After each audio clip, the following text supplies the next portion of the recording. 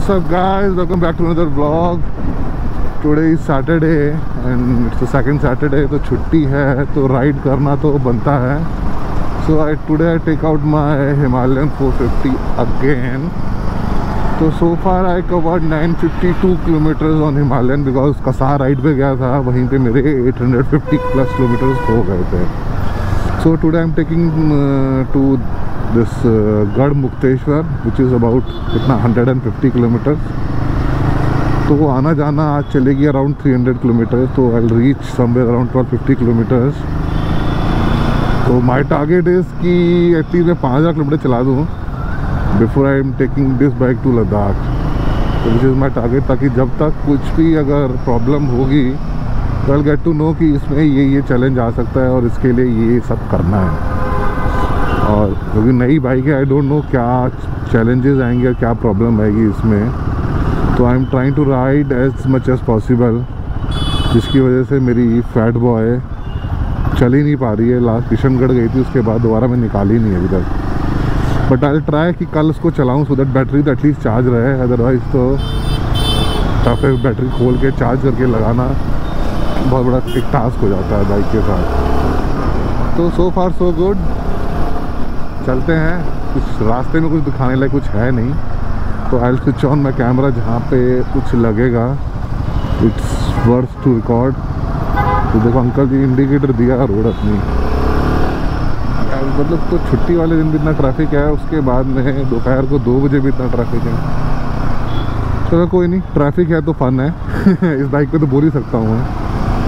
कि ना कोई हीटिंग प्रॉब्लम है, ना ही कोई ट्रैफ़िक में मैनुवर मैनू करने में लेफ़्ट राइट करने में प्रॉब्लम है। It's so easy and so convenient और पावर भी सम हाउ सफिशेंट है for the traffic purpose although मतलब हंड्रेड पे जाने के बाद थोड़ा सा फील होता है कि हाँ कुछ और होता तो बढ़िया होता। बट इतने में इतना ही मिलेगा। 3.5 लाख में और क्या ले सकते हो आप इससे ज़्यादा? So far bike is performing up to the mark थोड़ा सा ब्रेक में इशू लगा था कसार में मेरे को। बाकी that is also good because dust वस्ट की वजह से था बिकॉज़ वॉज़ हिल्स और बड़ा ही गंदा वहाँ पे धूल मिट्टी बहुत ज़्यादा था तो ब्रेक्स में लग गया था। The moment I clean the brakes everything is fine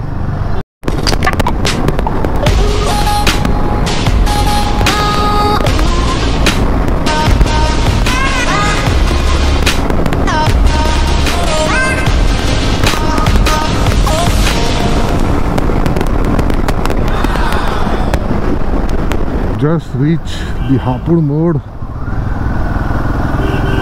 Hapur is about 28 kilometers from here. So यहाँ से we have to cover a quite a long distance of 70-80 kilometers more. 200 more kilometers to go.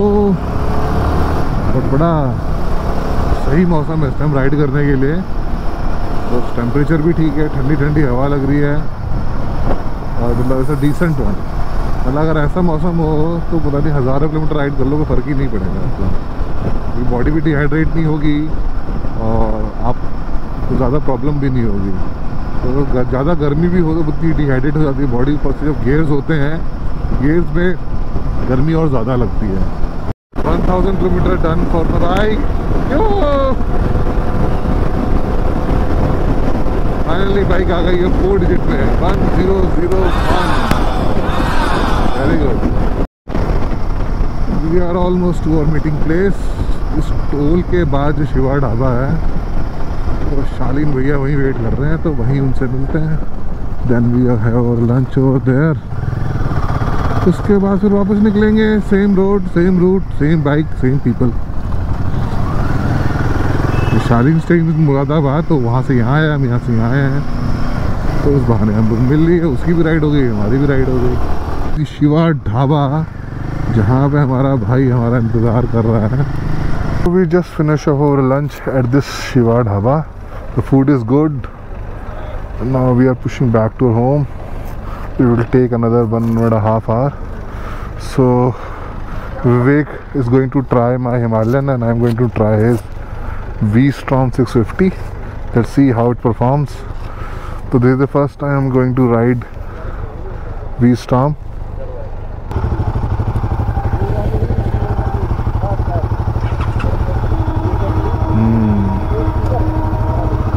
Sounds good. Let's see how it performs on the road. अच्छी चलती है यार V Strom भी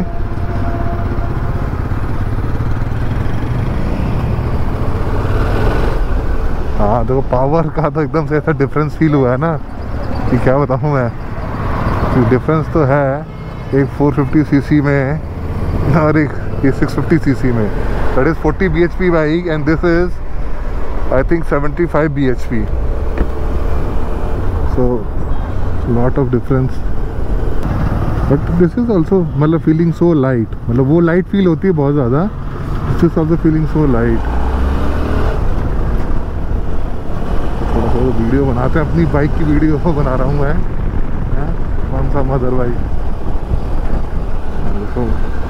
wind screen की direct हवा मेरे helmet पे लग रही है तो मेरे हिसाब से विंड स्क्रीन एडजस्टेड नहीं है।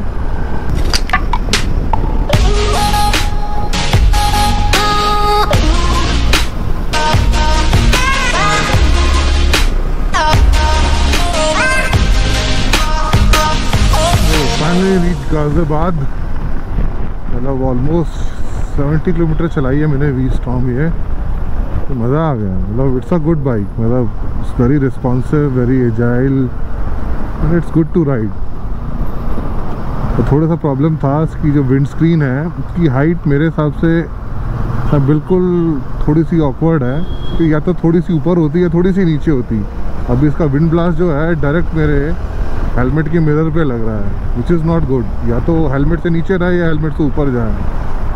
फिर नीचे रहेगा तो फिर शोल्डर से पड़ेगा नो प्रॉब्लम एट ऑल और हेलमेट से ऊपर जाएगा फिर तो बिल्कुल ही प्रॉब्लम नहीं इट्स गुड तो अभी बिल्कुल बीच में पड़ रहा है बिकॉज़ ऑफ़ दैट वो बफ्टिंग ज़्यादा हो रही है एयर की चलो, बाकी ठीक है एक्सटेंडर लगेगा इसके ऊपर तो बिल्कुल परफेक्ट हो जाएगी मेरे लिए।